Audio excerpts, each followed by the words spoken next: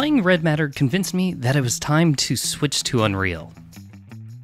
The only catch? I'll only have 24 hours to dive into the engine and attempt to make a VR game. I'll be discussing what I liked, what I didn't like, and if Unreal Engine is going to be here to stay as my platform of choice. As a Unity developer, you always kind of look over at our neighbors of Godot and Unreal and go, I wonder what they're like. Going down my laundry list of endless VR games that I need to play, and Red Matter finally popped up. So I hopped in, and I was pretty blown away by the entire experience. The level of detail, the physics, the environment itself, and the lighting. If you know me, you know I love lighting in games. And Unreal Engine does have some of these spiciest lights out there. 24 hours isn't a lot of time, but at least should be enough time for me to dip my toe in, and also I kind of work better under pressure anyways. Installation seems easy enough, just a few clicks and I should have this installed. Creating a project looks like I got a virtual reality template. I don't know what blueprints are, but I do know what C++ is, and you know what? I don't feel like programming in it right now. I think I'll just name my project something like Shrimp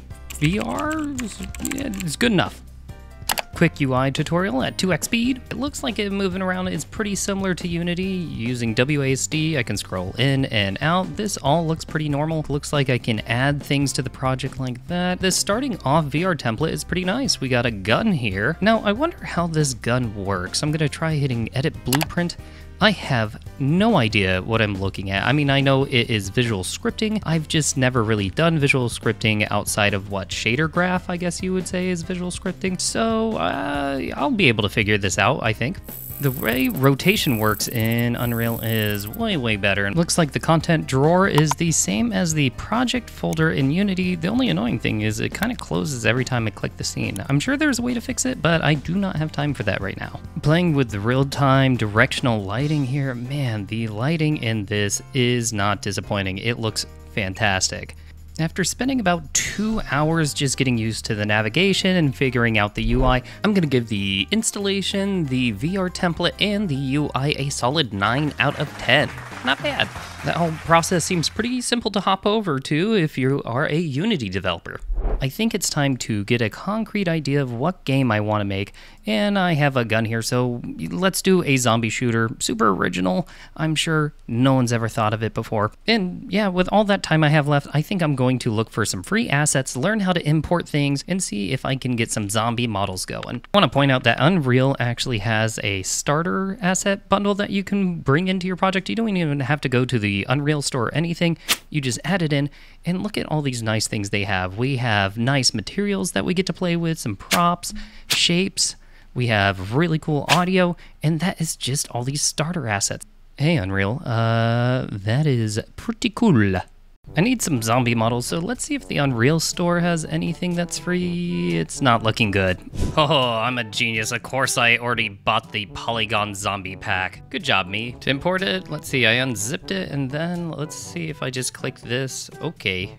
Oh, Oh, it's to open up its own project. All right, well, that's okay. All right, I'll just try dragging the project files in and see if that works. Oh, uh-oh. Oh, look at that. The Polygon asset has their own how-to about importing their stuff. You know what? I'm starting to love these guys. So apparently all I have to do is go over here, right-click the main assets folder, and hit migrate. I mean, why not why not just call it export? Ooh, look at that. We got zombies. Things are coming together. Moving uh, objects and files to other files is a huge pain in the butt. I don't know why, but every time you do it, it just has to it just has to recompile everything. All right, Unreal. So as far as asset management goes, so importing and moving files, I'm gonna give you a 5 out of 10. I, maybe I was doing some things wrong, but I found that they rubbed me the wrong way and it was just a tinge too annoying. Alright, so I have zombies in the game, I have guns that are working, and I think I want to make them shoot some lasers. I want to get these zombies moving, so it looks like it's time to hop into blueprints and see what they're all about.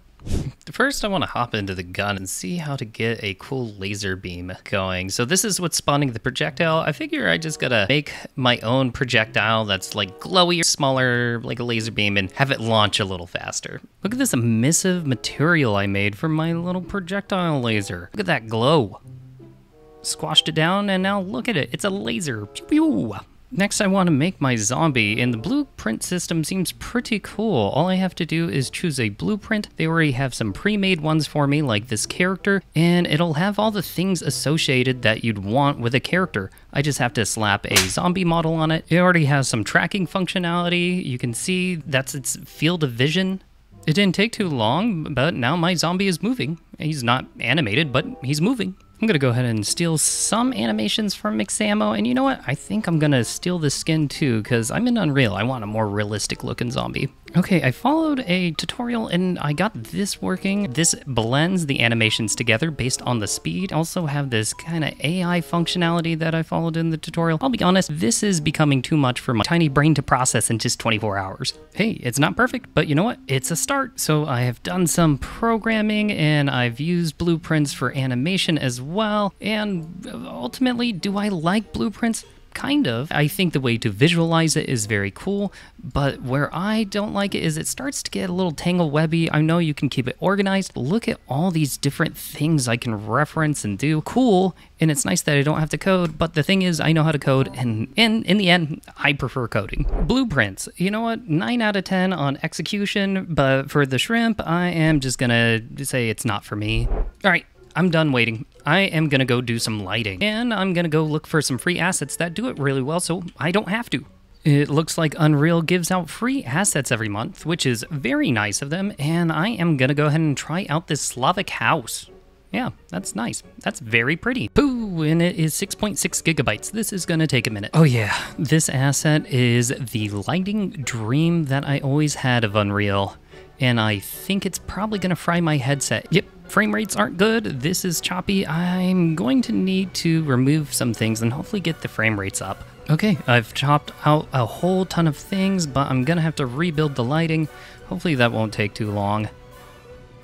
Okay, it's still at 0%. I'm gonna go get something to eat and hopefully it'll be done when I get back. Well, it's done, but still choppy. It's not looking good. It was at this point that I would fall into a never ending cycle of playing with some lighting settings and then breaking the entire thing and rebaking it, just so I can make it work in VR.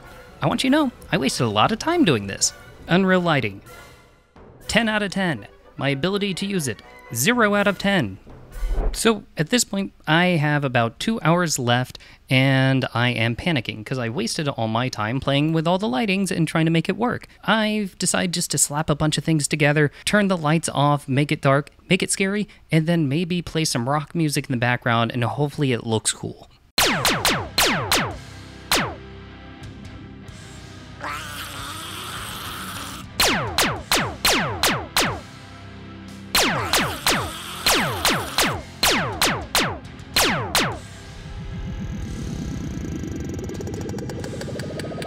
Not right. Pause it.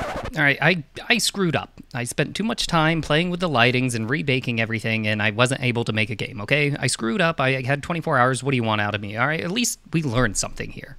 Even though I didn't make a game in 24 hours, I still got a really good tour of Unreal. I love the templates and the free assets that they give you. There's also things about the engine that just make sense, like the blueprints, such as characters that have all the attributes you'd expect a character have, like uh, health or a mesh or AI behavior. That's nice. The lighting, of course, is glorious. We all know this, but 24 hours definitely isn't enough time to master it. I also found out the things I didn't like, like the file system. Moving things is just just annoying, and although blueprints are cool and everything, eh, it's just not for me. I'm gonna stick with code. Unreal is just a tool to get a job done. If you want to build a game with amazing lights and graphics, then you should definitely play around with Unreal. Honestly, you should just play around with Unreal just to expose yourself to other game engines.